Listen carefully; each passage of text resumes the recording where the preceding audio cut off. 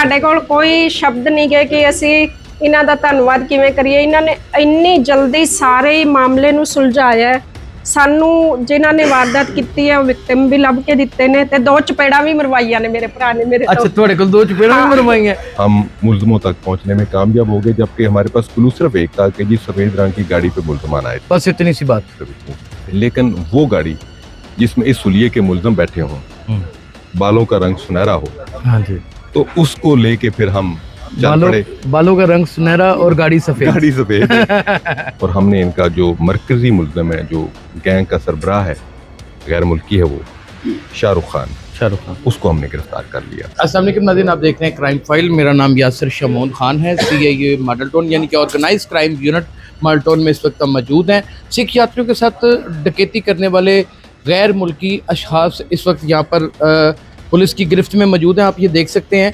ये वो दो मुलजमान हैं, नाजरीन जिनको पुलिस ने गिरफ़्तार किया है अपनी महारत के साथ, और ये ऑर्गेनाइज क्राइम यूनिट के हिस्से में कामयाबी है। ये बहुत बड़ी कामयाबी है, और आप देख सकते हैं ये दो मुलजमान हैं, जिनका ये, यही मास्टरमाइंड थे इस तरफ़ ले जाओ। यही मास्टरमाइंड थे, और अभी मजीद गिरफ्तारियाँ मतवक़ा हैं। इनसे माल मसरूका भी बरामद हो चुका हुआ है, और हम कोशिश करेंगे कि इनसे बात भी करें। तो ये चल रहा है इस वक्त प्रोग्राम। नाजरीन अभी तफ्तीश चूँकि जारी है तो ज़ाहिर है कि अभी बहुत सारी चीज़ें पसे पड़ता हैं और वो इन्वेस्टिगेशन के ऊपर असर ना कर जाए। तो कोशिश करें इन्वेस्टिगेटिव हजरात कि अभी इनसे बात ना की जाए क्योंकि बहुत सारे अहम राज होते हैं। आगे तफ्तीश की रूह मुतासर ना हो जाए उसके उसको बचाने के लिए। तो हम कोशिश करेंगे कि S S P south Aftab Ahmed Phularwan साहब से भी बात करें और इस सारे वाक़े को जानें कि इतनी बड़ी कामयाबी उन्होंने कैसे हासिल की। ये वतन अज़ीज़ पाकिस्तान के लिए एक अ, जग रसाई का बायस भी बना हुआ था और एक चैलेंज भी था। गुलबर्ग में सिख यात्रियों के साथ होने वाली डकैती ने एक दफ़ा तो वतन अज़ीज़ पाकिस्तान की इज़्ज़त को दाव पे लगा दिया था। ऑर्गेनाइज क्राइम यूनिट की जाने पूरे मुल्क की आँखें लगी हुई थी। हमेशा की तरह तमाम तर विंग्स जो पुलिस के हैं उसमें फिर ऑर्गेनाइज यूनिट ने बाजी ले ली और एसएसपी साउथ आफ्ताब अहमद फुल्लरफान साहब जो इस केस को लीड कर रहे थे इन्होंने अपनी महारत के साथ अपनी जान फशानी के साथ ना सिर्फ़ मुलजमान को गिरफ़्तार किया बल्कि उनसे माल मसरूका भी बरामद कर लिया और मज़ीद गिरफ्तारियों के भी इम्कान हैं। मुलजमान हम आपको दिखा चुके हैं। एस एस पी साहब हमेशा ही ये सेरा आपके सर के ऊपर आता है।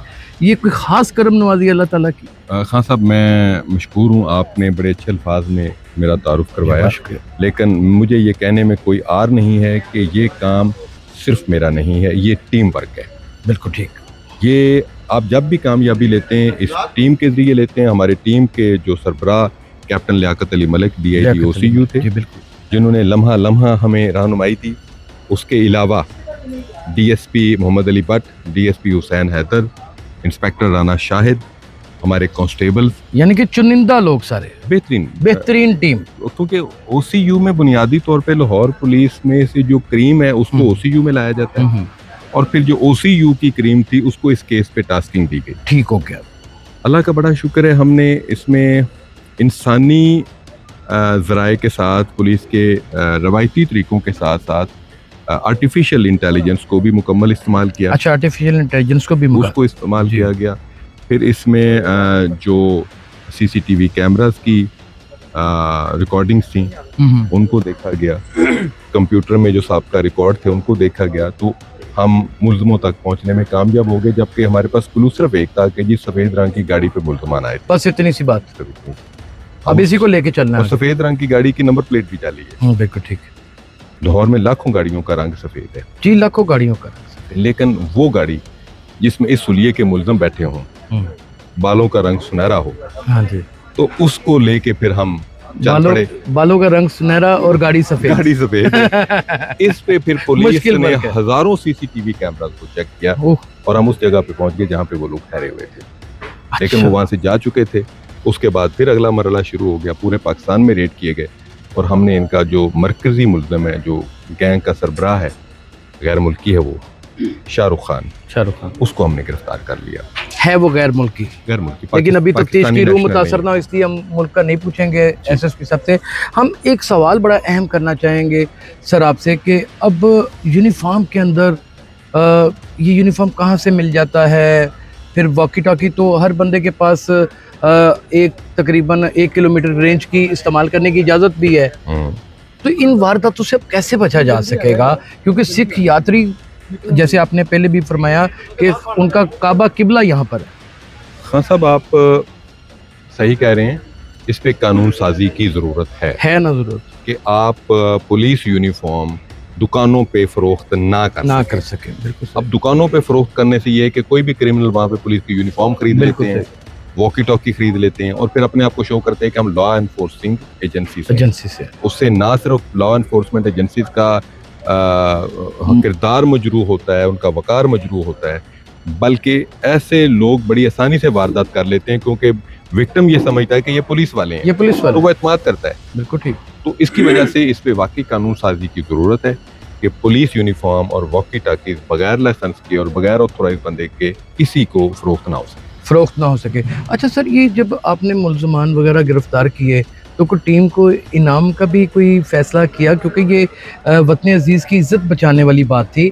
एक मुश्किल तरीन काम था जो आपने और आपकी टीम ने किया। हमारे लिए सबसे बड़ा इनाम ये है कि हम पाकिस्तान के बेटे हमने अपने मुल्क की हरमत और वकार पर हर्फ नहीं आने दिया।